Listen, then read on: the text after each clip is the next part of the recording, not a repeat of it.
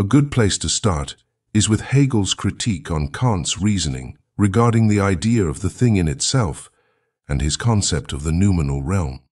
Immanuel Kant posited that human reasoning is limited to what we can perceive through our senses, and he argued that speculation on profound questions about the universe or God is futile.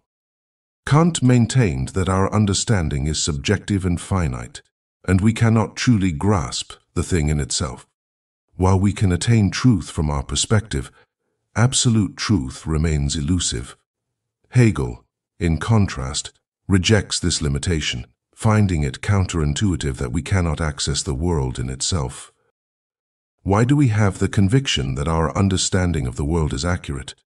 It can be prone to errors, challenging, and acquired through persistent effort, but there's a potential for truth. In the modern era, there's a sense that we are continually refining and deepening our comprehension of the world. There's an inclination to believe that we can endlessly expand our knowledge. Hegel finds this notion of infinite expansion intriguing and focuses on this continuous and boundless progress. Hegel's viewpoint rejected the notion that humans are merely mechanistic entities, isolated like cogs. Instead, he argued that we are intricately connected to the universe and the natural world, engaging in reflection upon it. We constitute an essential component of the broader reality. Consequently, Hegel dismissed the idea of a strict division between ourselves and the world, between subject and object, or between reason and Kant's thing in itself. According to Hegel, we are an extension of the universe, eliminating such separations. The philosopher's task in this context involves unraveling the relationship between the universe's substance, its perpetual universality, and the individual's specific finite existence. Hegel affirms what Kant denies, the possibility of having knowledge through pure reason of the absolute or the unconditioned. In the deterministic universe, causes lead to effects which in turn lead to more causes and effects. Everything is conditioned by something else. To comprehend the world, one must understand this intricate web of relationships. Absolute knowledge entails knowing these wider causes and having more detailed knowledge within its context. Spinoza considered nature and God to be essentially synonymous. It wasn't that God was out there transcendent, separate from the universe. Instead, God was immanent, revealed in every atom and every thought, as all is conditioned by the absolute first cause. Kant would say, hold on, why delve into discussions about God, metaphysics and absolute answers? Philosophy should focus on what is immediately perceptible to the senses. Only then can a genuine science be established. Hegel strongly disagreed, asserting that Kant was fearful, terrified of the thing in itself, hesitant to explore beyond his immediate surroundings. Hegel argued that Kant constructed a barrier, a limit between knowledge and the absolute because of this fear. This is what Kant referred to as the separate sphere, the noumenal realm. On the other hand, Hegel's inquiry into the relationship between the subject and substance explores how we can effectively express this connection. Hegel is in pursuit of complete unity, comprehensive knowledge, and contented happiness that does not feel estranged in an empty space, but instead feels at home in the world. He envisions the world as an organic unity that encompasses us, our ideas, others, animals, history, and everything within it. Hegel contends that through a meticulous examination of the process, we can grasp our intrinsic connection to the overarching historical movement an exploration of Hegel's philosophy begins by questioning the essence of reflecting on the world. Reflection, akin to a mirror, implies a form of doubling. When contemplating my thoughts about the world, I engage in a circular process where consciousness reflects on itself as self-consciousness. The act of reflection implies stepping outside oneself to self-examine, but it also involves distancing from the world to contemplate it. Reflection implies an unfolding process, making Hegel an idealist as he examines our evolving ideas about the world. He asserts that our experiences are molded by these changing ideas, and the various forms of consciousness undergo transformations over the course of history. The crucial question is, how does this transformation happen, and is there a discernible logic to it? Hegel argues that our understanding is restricted only if we consider things in isolation. No discipline, set of practices, ideas, job or hobbies coherent in isolation. The expertise of a lumberjack, carpenter, and architect only gains meaningful significance when considered in relation to one another. Comprehending their interconnections yields a more comprehensive and absolute system of thought. So, let's summarize our current understanding. We recognize the limited individual within the all-encompassing universe or substance, the interplay between the subject and the object, and the coexistence of the finite and the infinite. Kant introduced the notion that our knowledge is constrained due to our limitations as beings, preventing us from comprehending the thing in itself. However, Hegel contends that genuine knowledge entails fully grasping what we know and situating it within the absolute. This is where Hegel initiates his exploration, beginning with straightforward conscious thoughts, progressing to self-consciousness, evolving into reason, then advancing to spirit, and culminating in absolute knowing. Hegel asserts that as beings driven by thought and a quest for truth, our desire is to have immediate knowledge of the world. However, he observes that particulars inevitably move beyond their immediate nature and become universal. The immediate transforms into the mediated. The paradox arises when we contemplate how a whole can be composed of parts. It's a peculiar concept, and upon closer examination of our perception, it appears that the process is intrinsic to our act of thinking.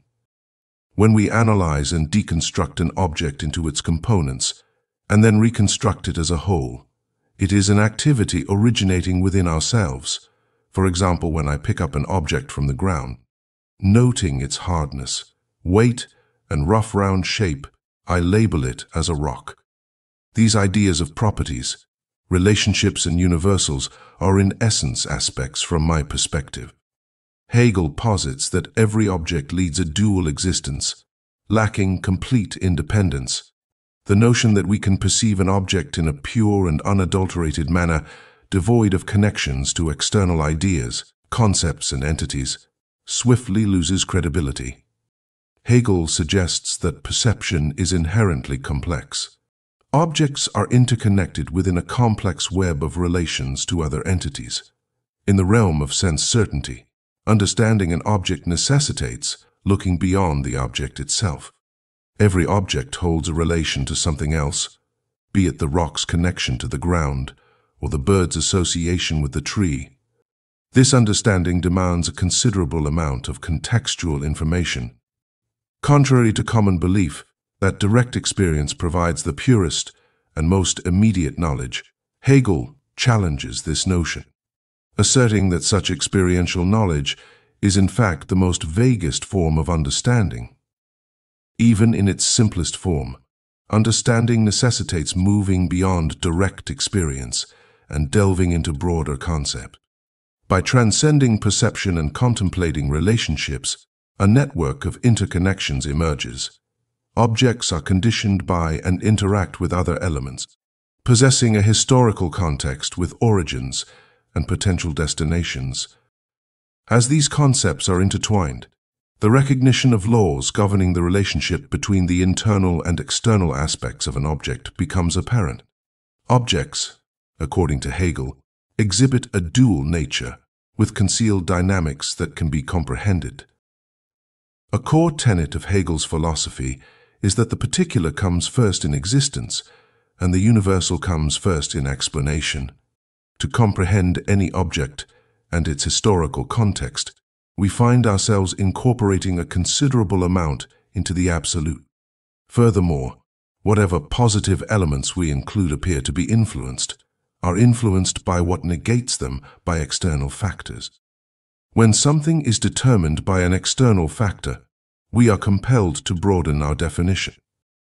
The Absolute beckons us, as sense certainty and individual objects are shaped by external influences, prompting us to widen our perspective. Hegel contends that there is no need to enforce a method. Rather, a natural process unfolds by attentively engaging with experience, being, logic, and ethics. This process emerges as a dynamic movement, embodying both life and thought. Each instance in which consciousness endeavors to establish an absolute understanding of an object, keeping in mind that an object can encompass anything, even an idea. The concept we grasp appears to be driven forward by its inherent logic. Hegel characterizes this as a continuous push or an inclination toward genuine knowledge, a phenomenon he identifies with desire. There exists an innate yearning, a passion for acquiring knowledge. Hegel's goal is to transform philosophy from the love of knowing into actual knowing. Through the necessity of referring to something outside of itself, a concept develops to include what was previously excluded. This dialectical process not only results in a new concept, but one that is higher and richer than the preceding. It negates or opposes the preceding concept while also containing it. This unity of opposites is what Hegel refers to as sublation, or Aufheben in German. Sublation involves cancelling, but at the same time to preserve, to lift up. It's the process through which the negation, the element that negates the positive definition of the concept, is included in a new form of the concept. Hegel describes it as the negation of negation, or determinate negation. This concept of the world confronts the Kantian thing in itself. However, if our concept is not entirely accurate, the real substance of the universe intrudes and challenges the boundaries of ideas. This dynamic interaction is the essence of dialectical movement. Hegel characteristically observes the dialectical sequence as follows. 1. Affirmation 2. Negation and 3. The negation of negation which results in the affirmation of something new. As mentioned earlier, any attempt to conceptualize an object without involving myself in the process failed. Without my act of looking, searching, touching, and perceiving, the object is nothing. This is why Hegel needs to turn to the individual. From your perspective, every experience is just given to you. It's for you in the sense that all your senses are directed by you, shaping your concepts and experiences. What directs this? According to Hegel, it's simple will, choice, and desire. My desire moves me. It's like energy. However, our desire, our self-consciousness, appears to lack inherent content. Desire is perpetually directed towards some external object or idea. Thus, Desire is contingent on something foreign, whether it's the intention to gaze at a particular object, contemplate an idea, consume specific food, or drink a particular beverage. There's a disconcerting recognition that despite our control over things, we are also reliant on them. Self-consciousness possesses a remarkable structure analogous to the examination of objects discussed earlier. To scrutinize ourselves, we must extend beyond our own boundaries to consider other self-consciousnesses. When conscious experience is turned inward toward the self, it becomes pure desire. In this context, all other things act as the negating force as desire functions as the mechanism through which the self strives to eliminate the otherness of the external world and assert its own existence. In the realm of self-consciousness, characterized by a continuous stream of objects and thoughts. Hegel argues that there is no genuine self to be found. According to him, the authentic experience of self-consciousness necessitates the presence of another self-conscious entity. This recognition occurs when encountering an object, another self-consciousness, that cannot be discarded, destroyed, or consumed. In the context of self-consciousness, recognition plays a pivotal role. When someone acknowledges and recognizes me, I develop a conceptual understanding of myself as an entity recognized by the external world. Previously, my self-perception consisted of either an empty consciousness or a series of objects in my thoughts. However, the shift occurs when my self-concept transforms into an object, an idea of me that is shared by the world. According to Hegel, the two selves acknowledge each other's recognition, and true self-consciousness emerges when the self recognizes itself as being recognized by another. This section of Hegel's work is crucial, as it signifies the inception of spirit, where the individual I transforms into a collective we that becomes a determining factor in the world. In this phase, I realize that my self-concept is shaped not just by my own desires, but also by external objects and by the perception of me held by another self-consciousness. I attempt to establish my identity based on everything I know and all the ideas I possess. However, in this process, I encounter an idea of myself as an entity that I cannot control. Hegel expresses that self-consciousness holds a dual nature. It is absolute in its certainty about itself, yet, in the eyes of others, it becomes a tangible object, an independent entity existing in the realm of being. This discrepancy needs to be reconciled on both sides because each self-consciousness simultaneously serves as a living entity in the perception of others and as an unwavering self-certainty in its own perspective. The foundation of self-consciousness, rooted in desire, involves an independent and self-propelled drive to assert one's will. However, Hegel introduces a crucial nuance, emphasizing the necessity for each self-consciousness to recognize the autonomy of the other as a subjective entity with its own independent existence, thus resisting manipulation for personal end. In the struggle for recognition, each self-consciousness seeks to establish the absolute nature of its desire. This dynamic creates a life and death struggle, as both parties desire acknowledgement from the other.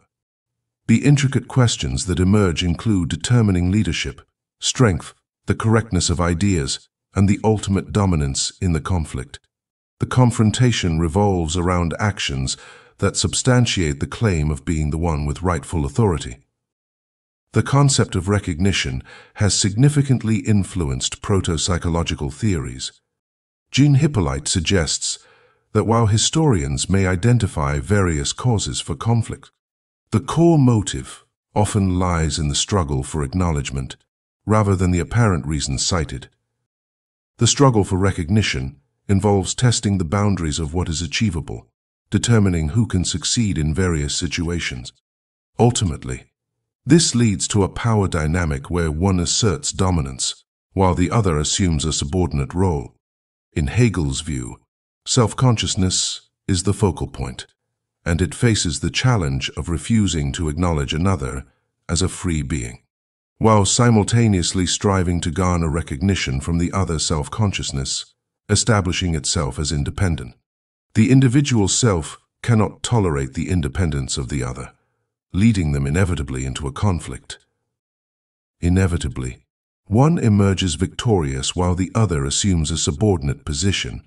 One poses the questions the other provides the answers. Throughout history, this dynamic plays out with one assuming the role of master and the other as servant. However, Hegel contends that this configuration of self-consciousness is unsatisfactory for both the master and the servant. The master is only acknowledged by the servant, who lacks autonomy and could be disposed of at will. Consequently, being recognized by something that lacks value or respect diminishes the significance of recognition itself. We start to observe the complexity of autonomy in this situation. Although the servant has relinquished some autonomy and freedom by serving the master, they come to recognize their intrinsic value. While carrying out the master's commands, they have command over the realm of objects, possessing knowledge of work, their environment, food, cooking, and the procedures they need to undertake. In certain respects, the servant may even possess more knowledge than the master. Even though consciousness may not be acknowledged as entirely free, constrained in its movement, speech and actions, one aspect where it is self-determined is in thinking. Hegel initiates an examination of historical instances where self-consciousness evolves into an intersubjective state. This marks the commencement of history happening to consciousness in a genuine sense.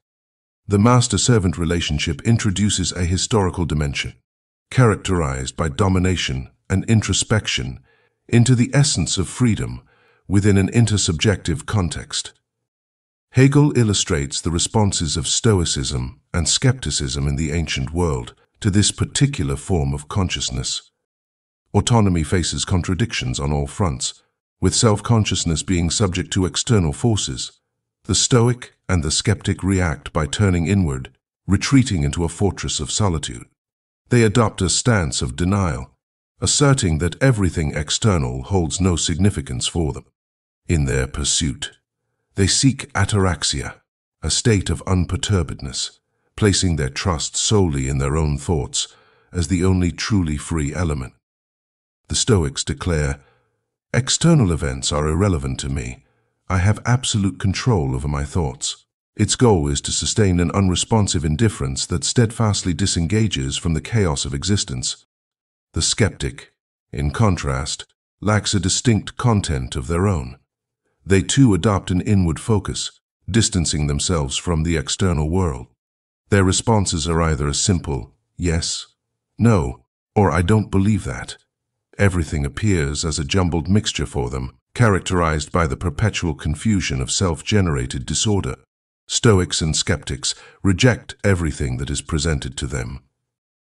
According to Hegel, in ancient Rome where Stoicism emerged, the world was immersed in melancholy and its heart was shattered. In a different context, he describes ancient Rome as the universal unhappiness of the world.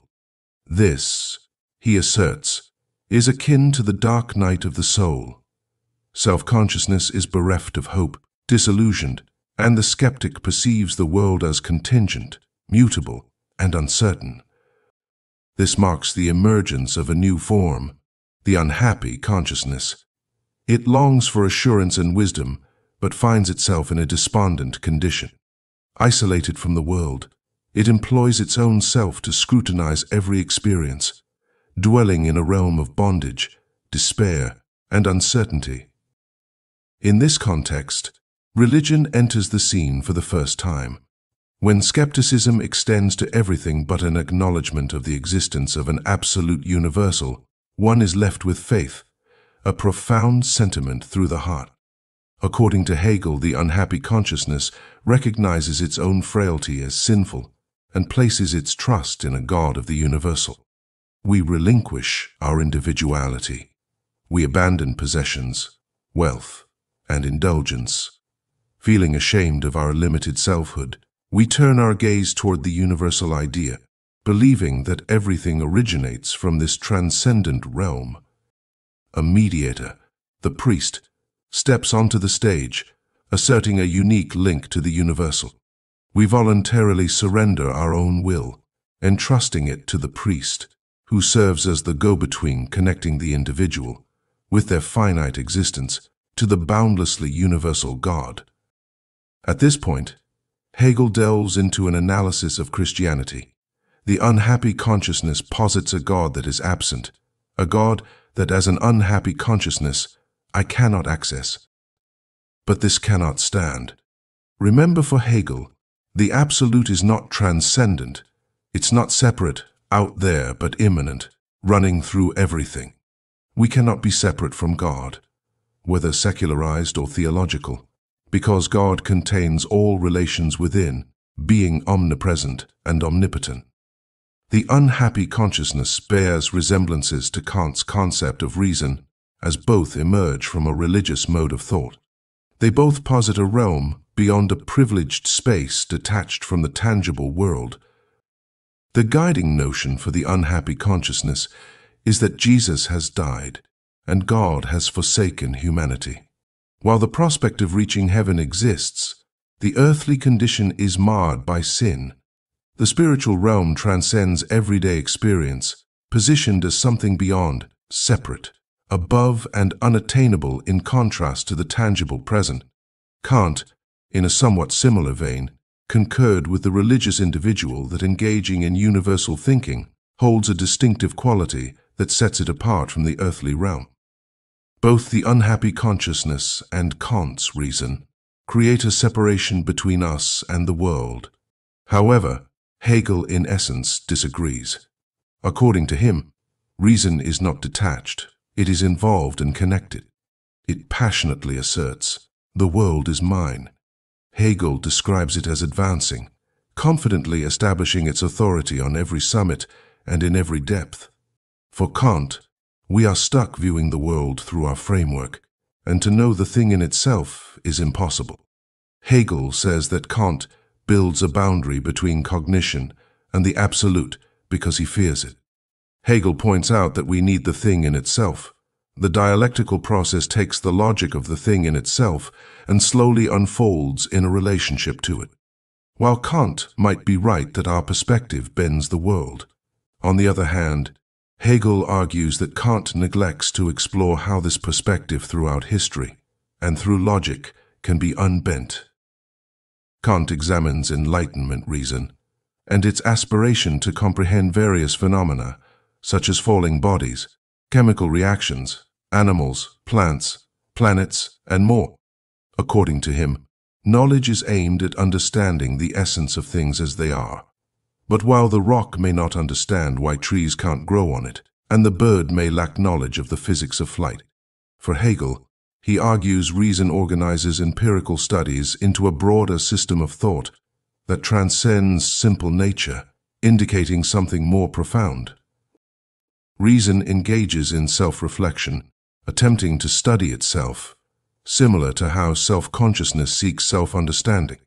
However, when reason turns inward, it doesn't find a neat arrangement of logical elements, but instead, as William James puts it, a bustling confusion of half-formed thoughts, memories, regrets, and images. The question arises, is reason inherently reasonable? Or is its character influenced by circumstances, situations, habits, customs, religion, and other factors? Reason operates in two realms, the external world of phenomena, where the laws of cause and effect seem to govern physics, chemistry, and biological processes, and the internal world of psychology, where concepts like passion, freedom, and choice take center stage. When we examine our own psychologies, the notion of psychological necessity, according to Hegel, becomes an empty expression Reason in Hegel's view is not a detached and unfeeling force. Instead, it is imbued with interest and takes on a persona. It becomes romantic, possessing motivations, reaching out into the world, and finding embodiment. When engaging with the world, it's not merely about observation, but about action and creation. Hegel argues that reason desires happiness and finds it entirely reasonable to pursue. However, it also seeks to witness its own happiness manifested in the external world. We see this intertwining of reason manifest as romanticism, and the Enlightenment is evident in the collective rebellion against unjust and irrational laws imposed by arbitrary aristocrats and monarchs. Rousseau introduces the concept of the law of the heart, claiming that reason perceives itself as right based on an inner conviction. According to this view, one believes they are correct because they feel it strongly. However, Hegel adds that when consciousness establishes the law of its heart, it inevitably faces opposition from others. This resistance emerges because it contradicts the equally particular laws of the heart of the other. We all desire our own things, convinced of our correctness. Therefore, morality cannot solely originate from individual feelings. So, Kant flips the concept of morality, defining it as what is universalizable. Morality isn't an emotional warmth, but a rational calculation. The law of the heart transforms into the law of duty. What is right can only be transformed into a universal rule. My personal desires are repressed. The idealist envisions a world where everyone acts in the right way. However, the challenge for the idealist lies in suppressing selfish desires and individuality traits. On the contrary, according to Hegel, the world isn't driven by duty, abstract ideas, or universal rules, but rather the world is driven by individuality. The idealist advocates against selfishness, asserting that selflessness is virtuous and the universal ideal. According to the idealist, the world would improve if everyone embraced selflessness. However, Hegel introduces its negation, the way of the world, which suggests that sometimes one needs to prioritize selfishness. Reason is inherently concerned with both its own well-being and the well-being of others. Even when proposing a universal concept, such as selflessness, reason must express that selflessness through individual actions. Active reason gains self-assurance and relies on its own rationality to guide actions. It doesn't require guidance from kings or priests, but rather individuals as models of reason utilizing their unique gifts and talents, acting like mini-gods, to contribute to the greater good and benefit the broader world. During Hegel's era, there was a lack of intellectual concepts such as social consciousness, the unconscious, or sociology. The notion of the general will, as introduced by Rousseau, was a relatively recent development, and so it is challenging to precisely define Hegel's concept of Geist or spirit and its all-encompassing process. However, philosopher R.C. Solomon suggests that what becomes evident from Hegel's writings is that Geist refers to a kind of shared or common general consciousness that is present in all individuals. Let's delve into the concept of self-consciousness, needing two self-consciousnesses, and explore how traditions and customs emerge from this, leading to what Hegel terms the unity of different independent self-consciousnesses. As we have discussed, in the struggle for recognition, two self-conscious beings engage in a life and death battle. Seeking acknowledgement from each other, the winner gains a sense of self-worth and recognition, while the defeated acknowledges the superiority of the victor. This struggle sets the stage for the development of traditions and customs. Traditions and customs emerge as a way for self-conscious beings to regulate their interactions and establish stable patterns of recognition. Through repeated interactions and mutual recognition, a shared understanding develops giving rise to customs and traditions that govern the behavior of individuals within a group of people. While each individual maintains their independent self-consciousness, they also contribute to and are shaped by the collective self-consciousness of the group of people.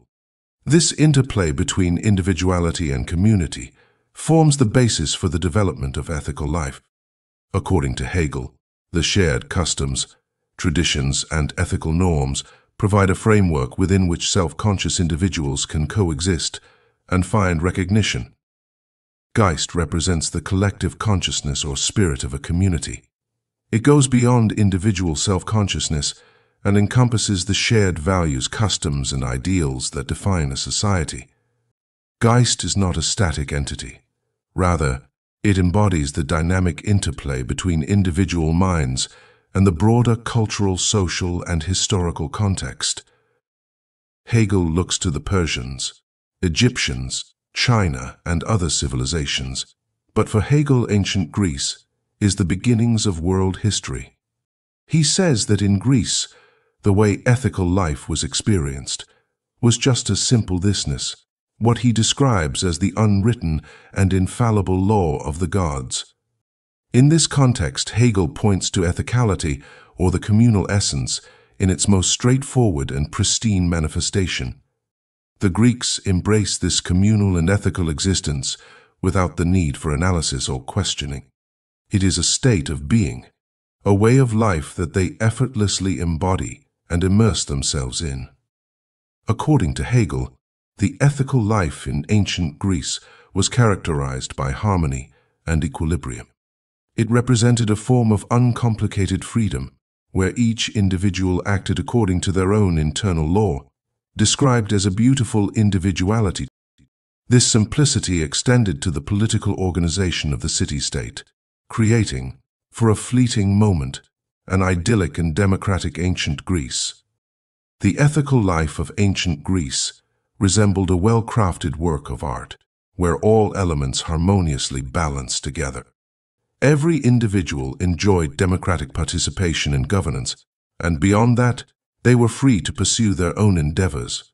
However, this apparent wholeness concealed underlying contradictions that contributed to its eventual decline.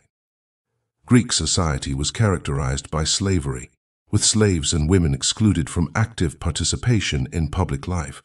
Freedom, in this context, was often equated with self-sufficiency, primarily defined as avoiding enslavement.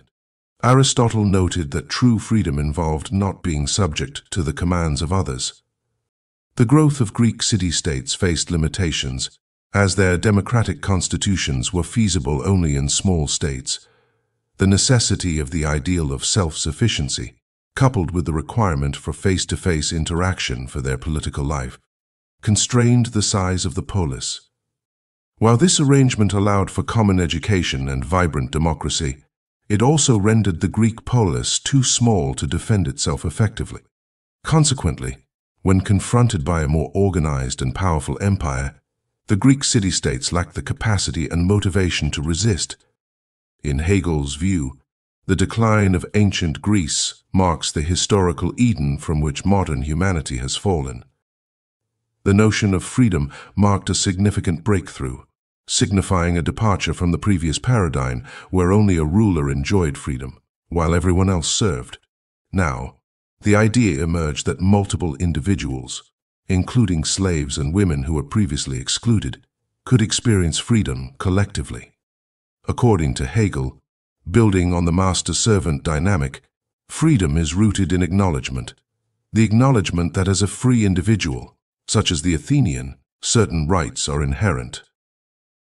Rome drew valuable lessons from this historical progression, recognizing the significance of individuality Rome established a sophisticated legal framework.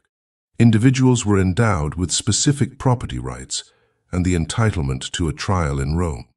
Through this legal system, Rome extended citizenship to conquered territories, enabling its expansion in a manner not feasible for Greece.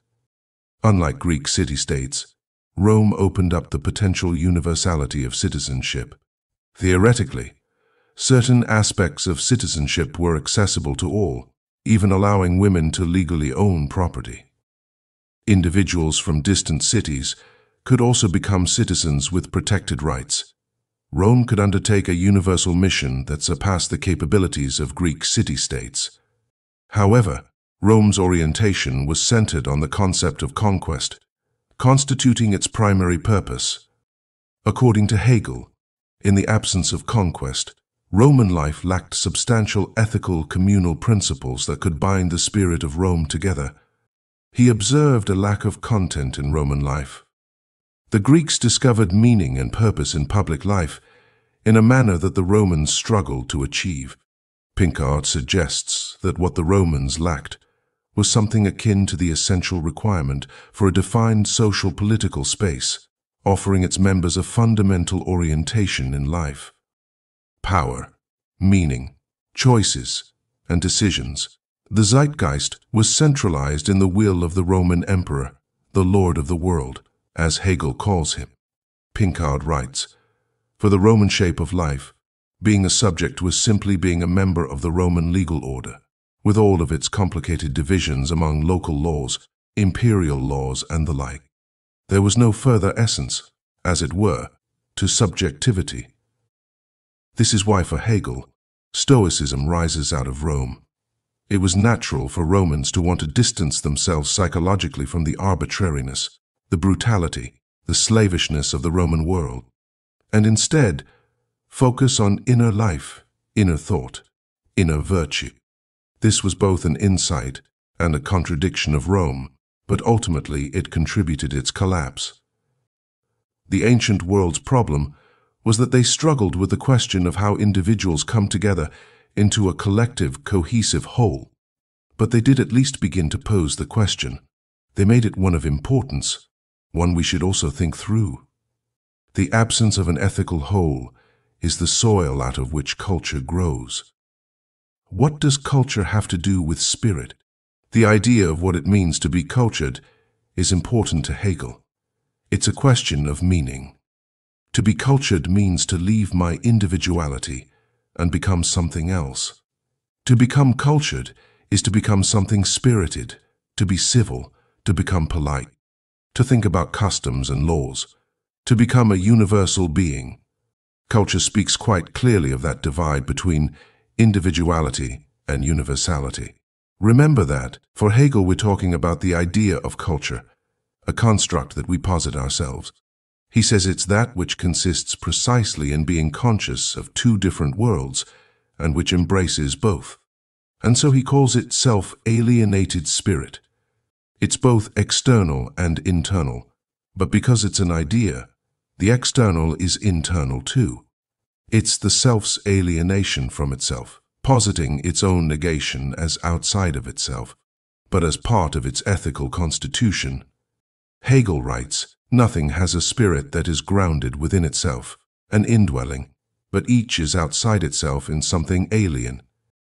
When we think about the out there of communal spirits, we go outside of ourselves in ourselves.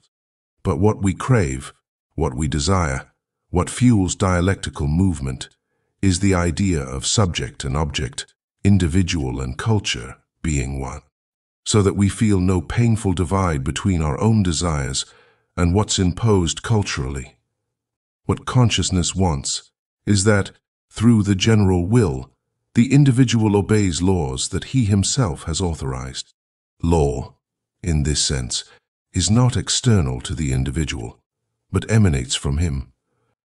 This is evident in the Enlightenment, when it was argued that it wasn't kings or gods or even tradition that was the source of right, but people themselves, that we together are the source of culture, the source of rights and ideas of liberty, equality and fraternity. As the French revolutionaries said, in this, they are universal and individual at the same time. Hegel says self-consciousness needs duty to be the absolute essence. Didn't we learn from previous shapes of consciousness that there is no universal object out there without looking at the subject in here? Kant's morality has much in common with the unhappy consciousness. It posits the good in some transcendental region that is almost separate from me. Instead, Hegel says we must look for the source of culture, morality, the good and duty within. It must align with our own impulses, our own individual ideas, our own talents, wants and personal preferences. Duty must become an individual drive rather than an abstract thought. Personal will and communal duty must become the same. Hegel says, It's now the law that is for the sake of the self, not the self that's for the sake of the law. We see this expressed in the great interest in emotion, passion, and moral sentiment during the Enlightenment. We forget that this was a period of individual expression and an interest in overflowing emotion as much as it was about reason. We need to place morality so that it aligns with the individual's desire.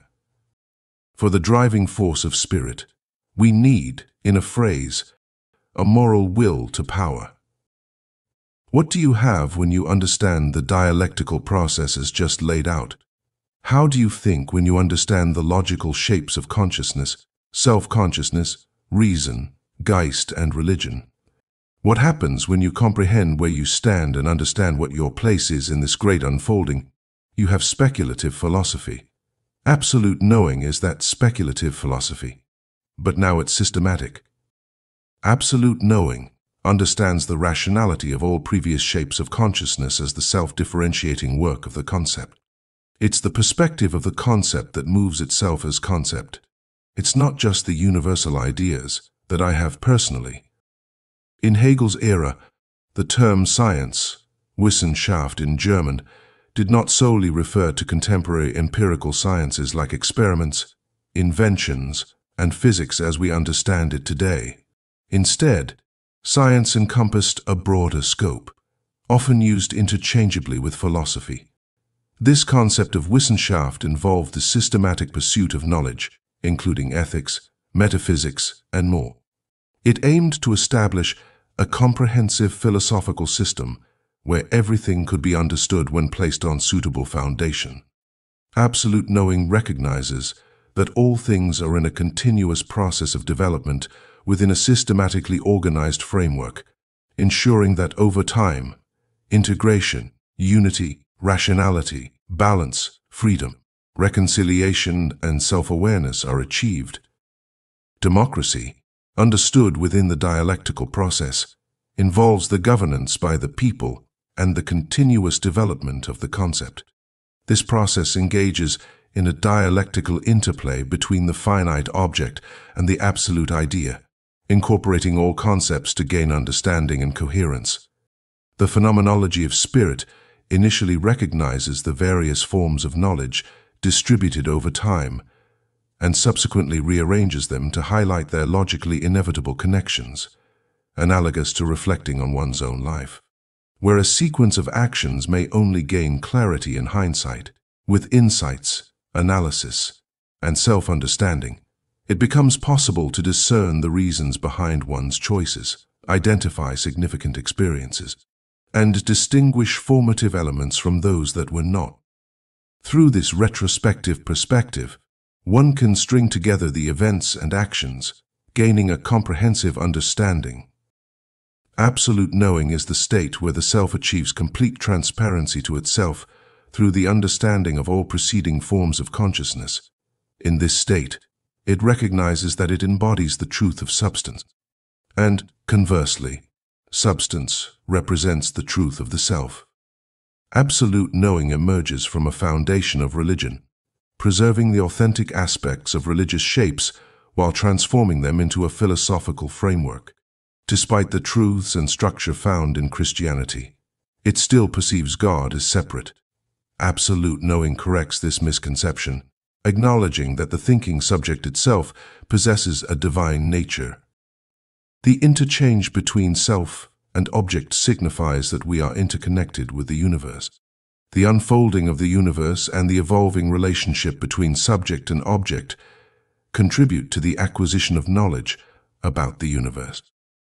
The purpose of history becomes apparent only after numerous shapes, events, battles, processes, ideas, and actions have unfolded. Reflecting on these occurrences becomes possible only at dusk, symbolizing the end of the day. It is then that observers can discern potential relationships, understand the connections between ideas and concepts, and move forward in comprehension. Hegel aptly expresses this idea by stating, The owl of Minerva spreads its wings only with the falling of the dusk, emphasizing the retrospective nature of understanding events. Despite the apparent chaos, reason, according to Hegel, exhibits a cunning ability to discern patterns and reveal meaningful connections.